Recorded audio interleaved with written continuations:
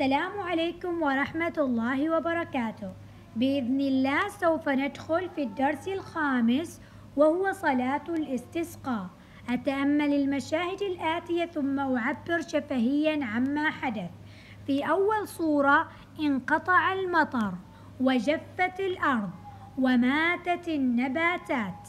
في الصورة الثانية يلجأ الإنسان إلى الله تعالى فيطلبه بماذا؟ بنزول المطر. في الصورة الثالثة يستجيب الله تعالى الدعاء المؤمن وينزل المطر. وبعدها تنمو النباتات كما موضح لكم في الصورة الرابعة. في الصورة الرابعة أو الصورة الرابعة عفوا. الآن ننتقل إلى هنا. صلاة الاستسقاء. طبعا هذا هي صلاة الاستسقاء حكمها سنة مؤكدة مكان إقامتها خارج البلدة. عندنا آه، يحضرها من؟ الرجال والنساء والأطفال بعد شروق الشمس وقتها. بعد شروق الشمس وقتها. هذه هي الإجابات في هذه الصفحة. الآن ننتقل في حل ماذا؟ في حل أقيم تعليمي أقيم تعليمي صح أم خطأ. إذا تأخر نزول الغيث يصلي المسلم صلاة الخسوف.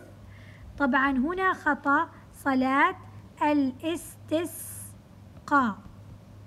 لا يؤذن لصلاة الاستسقاء هنا صح. تؤدي صلاة الاستسقاء جماعة هنا السؤال الثالث صح. صلاة الاستسقاء لها خطبتان خطأ خطبة واحدة.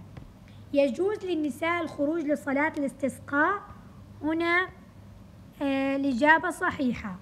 استنتج من الآية الكريمة أحد أسباب نزول الغيث وهي وجه آه طبعا هنا نكتب ماذا؟ الاستغفار. نكتب الاستغفار.